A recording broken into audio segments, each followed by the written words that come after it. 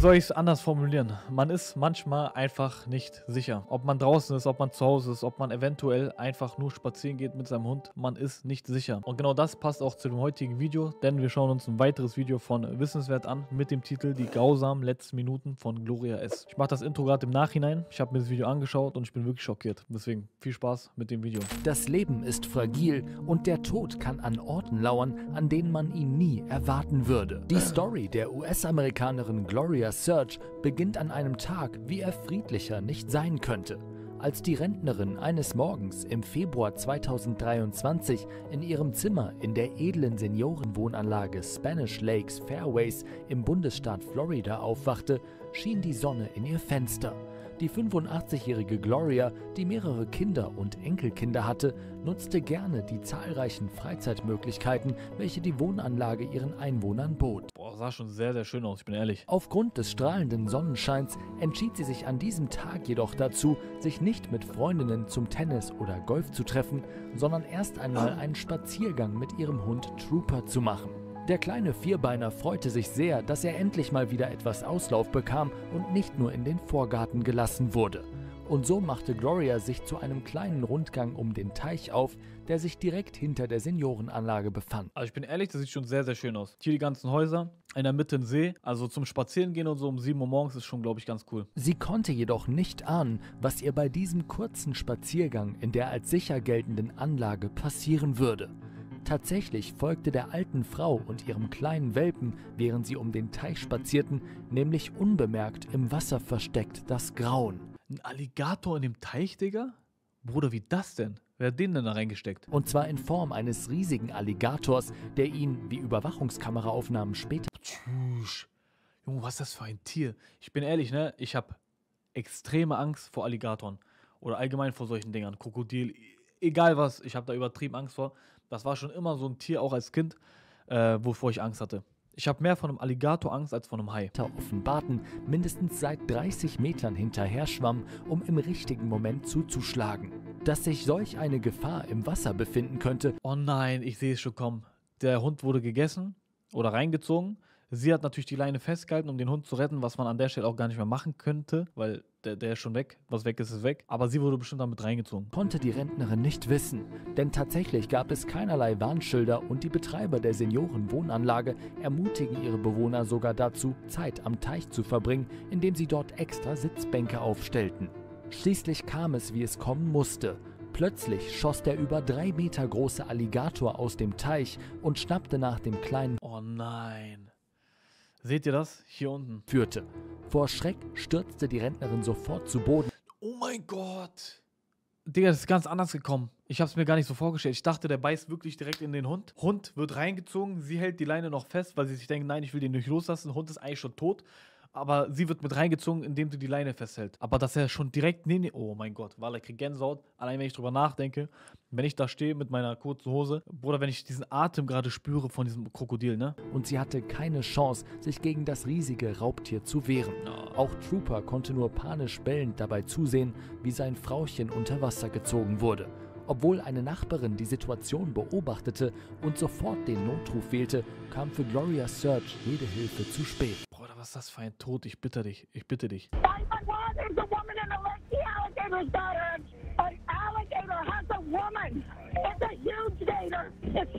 Besonders heftig Boah, Digga, das ist krank, wirklich. wird dieser tragische Todesfall dadurch, dass die Betreiber der Wohnanlage schon lange vom Alligator im Teich wussten und ihm sogar einen Spitznamen gaben und ihn regelmäßig fütterten. Neben der tragischen Geschichte von Gloria Search gibt es aber natürlich auch noch unzählige andere Beispiele, die verdeutlichen, dass man immer mit größter Vorsicht durchs Leben gehen sollte, weil der Tod schnell und unvermittelt kommen Aber ich bitte dich, wer rechnet damit? Digga, du wohnst in einer richtig schönen Gegend, du hast einen Teich, du hast Sitzbänke, du gehst da spazieren direkt am Wasser. Und wer rechnet damit, dass da ein Alligator im Teich ist? Also eigentlich muss ich sagen, ähm, mir wäre es aufgefallen, weil ich bin so ein Typ, meine Augen sind überall, auch hinten, ne? Also wenn ich jetzt irgendwas in meinem Augenwinkel sehe, ob es eine Maus ist, ich sehe das sofort. Ich glaube, einen Alligator hätte ich auch sofort erkannt. Aber ähm, wenn man so drüber nachdenkt, diese Entscheidung zu treffen, ich gehe jetzt spazieren mit meinem Hund und noch schlimmer, ich gehe direkt am Wassergassi, das hat einfach ihr, ihr Leben gekostet, ne? wenn man so überlegt. Ist schon sehr, sehr hart. Daher wollen wir euch nun noch drei weitere unglaubliche, aber wahre Stories von Menschen zeigen, die ein grausames Schicksal ereilte. Den Anfang macht dabei die tragische Geschichte von Adam Johnson. Der 29-jährige US-Amerikaner war ein erfolgreicher Eishockeyspieler, der schon seit vielen Jahren seinen Lebensunterhalt mit dem Sport bestritt, als er am 28. Oktober Ich wäre aus Reflex gestorben, hundertprozentig auch. 2023 für die Nottingham Panthers gegen die Sheffield Steelers antrat. Zu diesem Zeitpunkt hatte er bereits fast 300 Spieler als Profi hinter sich und kannte sich mit den Risiken beim Eishockey daher bestens aus. Allerdings sollte ihm dieser Umstand an jenem verhängnisvollen Tag nichts bringen. Was ihm auf dem Spielfeld passierte, gab es nämlich in der Geschichte des Eishockeys noch nie. Als sich der 29-Jährige gerade einen Zweikampf mit einem Gegner auf dem Eis lieferte, bekam er den Schlittschuh des anderen Spielers gegen den Hals, ausgerechnet dorthin, wo er nicht durch seine Schutzausrüstung geschützt war. Die messerscharfe Kufe ging durch seine Haut wie durch Butter und obwohl Adam Johnson danach noch aufstehen konnte, kollabierte er direkt wieder. Natürlich wurde das Spiel sofort abgebrochen und der Blick aufs Spielfeld wurde verhüllt, damit die Zuschauer nicht sehen mussten, was sich dort abspielte. Boah, hart, sehr, sehr hart. Und deswegen hat meine Mutter immer gesagt, Sport ist Mord. Jetzt verstehe ich sie einerseits. Ja, das ist der Punkt, du. Du sagst es schon ganz richtig. Leute haben das live gesehen. Guck mal, wir schauen uns das gerade an, stellen uns das ein bisschen vor, aber die Leute, die da im Stadion saßen und das äh, sich wirklich angeschaut haben, die haben das live gesehen. Das ist nochmal was ganz, ganz anderes. Also wirklich. Ich glaube, das ist ein Schock fürs, äh, fürs Leben. Adam Johnson wurde umgehend ärztlich versorgt, doch leider kam jede Hilfe zu spät für ihn. Und so verstarb der Eishockeyspieler nur wenige Stunden später im Krankenhaus. Digga, krank. Guck mal, überleg mal, der Typ war noch voll jung. So, der hat sein Geld verdient mit einer Sache, die ihm übertrieben Spaß macht, was vielleicht davor ein Hobby war. Und äh, kein Mensch hat damit gerechnet, dass durch einen Zweikampf, dass der Typ einfach stirbt. Glory Pathausen hätte niemals damit rechnen können, was ihr passieren sollte, als sie eines Tages mit ihren Freundinnen feiern ging. Die junge Frau kam gerade aus einer gescheiterten Beziehung und ließ es an diesem Abend daher schick gestylt in einem Club krachen, um die Beziehung zu vergessen. Dabei trug sie hohe High Heels, die zwar schick aussehen, aber äußerst unbequem waren. Als ihre Füße am Ende der Partynacht wegen der High Heels zu sehr schmerzten, zog sie diese einfach auf der Straße aus und ging barfuß weiter. Als sie und ihre Freundinnen eine Straße überqueren wollten, trat Lori mit ihren nackten Füßen dann in eine kleine Pfütze neben einer Straßenlaterne. Zu ihrem Unglück war die Laterne defekt und Kabel, durch die mehrere tausend Volt Spannung flossen, hingen aus der Laterne in das Wasser der Pfütze. Danach Oh, Bruder, das sind so Tode, so, Digga, die kann sich keiner vorstellen. Wenn mir das jemand erzählen würde, ich würde es gar nicht glauben. Nasse Haut eine zehnmal höhere Leitfähigkeit als trockene Haut hat, begab sich die Amerikanerin so völlig nichtsahnend in Todesgefahr. Als Lori dann auch noch das Metall der Laterne anfasste, um sich abzustützen, schloss sie den Stromkreislauf. Der Strom schoss durch ihren Körper und Lori fiel sofort zu Boden und ihr Herz stoppte.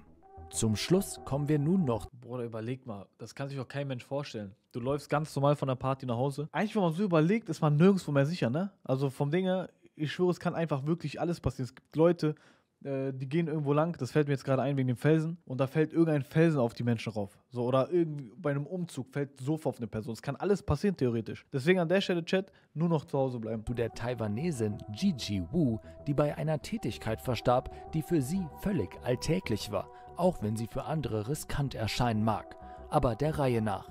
Die 36-Jährige war eine passionierte Bergsteigerin, die eine große Fangemeinde in den sozialen Netzwerken hatte. Und zwar vor allem, weil sie sich häufig im Bikini auf Berggipfeln fotografierte.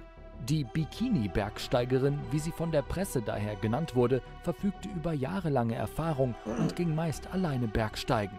Da man dies ja eigentlich nicht tun sollte, war Gigi Wu bei ihren Touren besonders vorsichtig und natürlich war sie auch mit jeglich erdenklicher Notfallausrüstung gewappnet, falls ihr doch einmal etwas passieren sollte.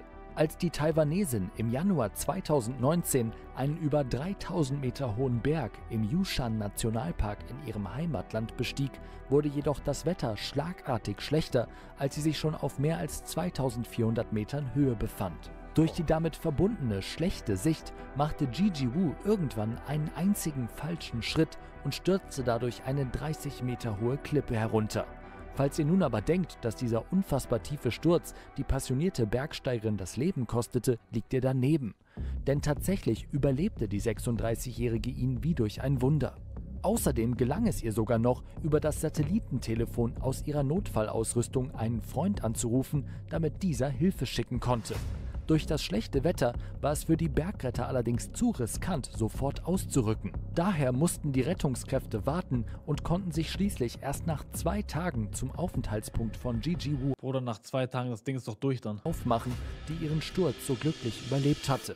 Als sie bei ihr ankam, war die Bergsteigerin allerdings traurigerweise bereits den Temperaturen zum Opfer gefallen und erfroren.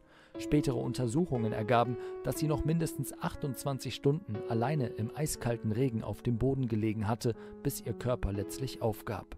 Wie all diese Fälle zeigen, Auch jetzt nochmal zur letzten Person. Das ist ja vom Ding auch wieder so ein Hobby. Also jeder hat so ein unterschiedliches Hobby. Ich würde sagen, mir wär, meins wäre es nicht, allein aus Höhenangst. Sie hat es anscheinend geliebt. Kein Mensch hat damit gerechnet, dass aus dem Nichts das Wetter auf einmal schlecht wird.